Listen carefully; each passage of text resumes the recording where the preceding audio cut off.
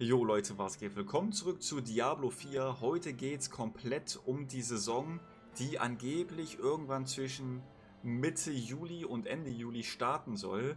Ich selber hatte bisher nicht so viel Erfahrung mit der Saison. Ich habe in Diablo 3 keine Saison gespielt und ich weiß nicht mal, ob es in Diablo 2 welche gab. Äh, und dieses Video richtet sich speziell an die Leute, die wie ich jetzt das erste Mal die Saison mitspielen werden und da die ganzen Infos brauchen. Übrigens eine kleine Spoilerwarnung. Es gibt ein paar Leaks, auf die ich eingehen werde durch den Datamine. Äh, wenn ihr das nicht hören wollt, dann am besten wegschalten und euch überraschen lassen, sobald die Saison wirklich startet. Aber ich würde sagen, starten wir mal rein mit den Grundsachen. Was für mich ganz wichtig war, war zu wissen, wieso ich diese Saison überhaupt spielen soll. Weil ich habe hier meinen, meinen Main Character, den seht ihr hier, den Lou auf Level 82. Und äh, ich habe mich halt gefragt, wieso soll ich komplett neu anfangen? Weil es wird so sein, ihr werdet hier eine andere Spalte haben mit Saisoncharaktern, die komplett bei Null starten. Und ich habe mich gefragt, wieso soll ich das Ganze nochmal neu machen? Ist ganz schön, es wird ein neues Thema geben, es wird neue Items geben, es wird neue Cosmetics geben, es wird Balance Changes geben, ganz viel neuer Stuff.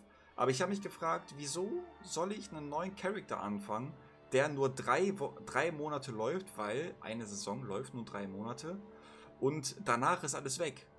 Und es ist tatsächlich so, dass eben nicht alles weg ist. Es wird so sein, dass ihr, sobald die Saison vorbei ist, euren Season Character bzw.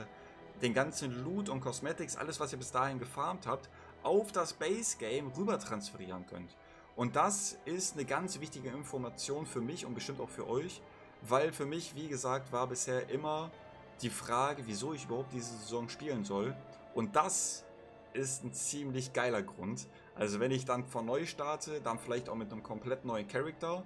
Äh, aktuell habe ich noch nicht gespielt den Totenbeschwörer. Das wäre so meine Idee für die, äh, für die Season. Da hätte ich Bock drauf.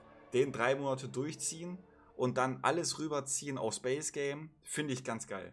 Außerdem wird es einen Battle Pass geben. Äh, den können wir durchspielen. Da gibt es dann natürlich auch geile Belohnungen, neue Aspekte, neue Kodexe der Macht.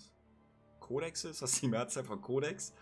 Äh, neue Dungeons natürlich, um die Kodexe, Kodex der Macht zu bekommen. Und äh, ja, da bin ich gespannt, wie viele Level wir bei diesem Battle Pass haben werden, wie, wie die Missionen aussehen werden. Bestimmt töte so und so viele Gegner, mache vielleicht die und die Anzahl an Nebenquests, wird ja auch neue Quests geben. Da bin ich auf jeden Fall extrem gespannt. Und das waren eigentlich auch schon alle bestätigten Sachen, deswegen kommen wir jetzt zum Datamine bzw. zu den Leaks. Es wird wahrscheinlich ein neues Level Cap geben. Das heißt mehr Level, mehr pa Paragon Level. Es wird eine neue Weltstufe geben. Weltstufe 5 steht im Raum. Neue Juwelen. Das heißt Juwelen nochmal ein Level höher.